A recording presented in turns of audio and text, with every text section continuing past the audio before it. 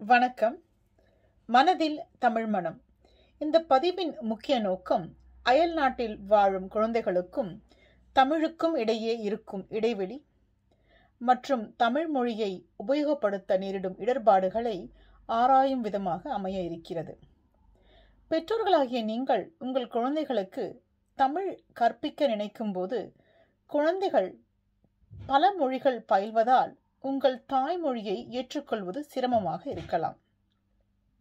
குழந்தைகளாகிய நீங்கள் தாய்மொழியின் அவசியத்தை அல்லது உபயோகத்தை உங்கள் நண்பர்களுடன் பகிர்ந்து கொள்ள முடியாத வகையில் இம்மொழி அமைவதாக நினைக்கலாம். பெற்றோர்களுக்கும் குழந்தைகளுக்கும் தாய்மொழியின் அவசியத்தை உங்களுடன் சேர்ந்து யோசிப்பதே ஒரு நல்ல தொடக்கமாக நினைக்கிறோம்.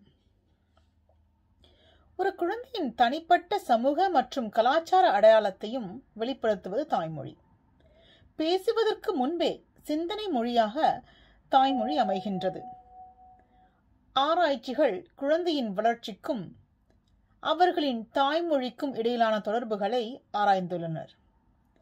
இரண்டு அல்லது மூன்று மொழிகளில் தங்கள் திறன்களை வளர்த்து கொள்ளும் குழந்தைகள் ஆழமான புரிதலும் மொழியை பயன்படுத்தும் மற்றும் வெளிப்படுத்தும் செயல்களை எளிதாக செயல்படுத்துகின்றனர். தாய்மொழியை பயன்படுத்தும் குழந்தைகள் மொழியின் ஆழத்தை புரிந்து பயன்படுத்துகிறார்கள். அதை பயன்படுத்தும் திறன் மிகவும் எளிதாக அவர்களுக்கு அமைகின்றது. ஆராய்ச்சிகள் குழந்தைகளின் அறிவு மற்றும் திறன்கள் மொழிகளில் இடமாற்றம் செய்யப்படுகின்றன என்பதை வலியுறுத்துகின்றது. தாய்மொழியில் கற்ற திறன்களை மொழி கற்றல் அணுகுமுறையிலும் மாற்ற முடியும்.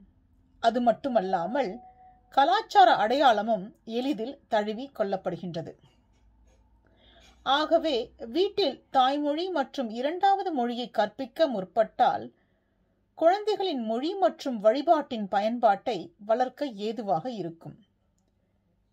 குழந்தைகள் எளிதாக மொழியை கற்பதற்கும் பயன்படுத்துவதற்கும் விமர்சன சிந்தனை மற்றும் அறிவுத்திறனை வளர்க்கவும் உதவுகின்றது.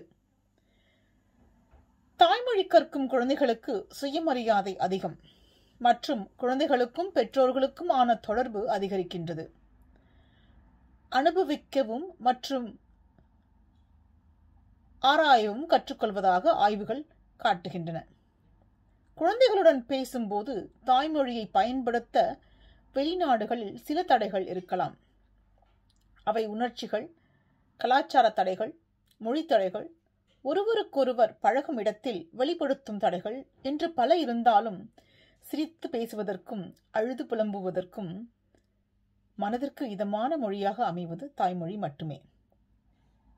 தாய்மொழி நம் வாழ்க்கைக்கு அவசியமான ஆதாரமா?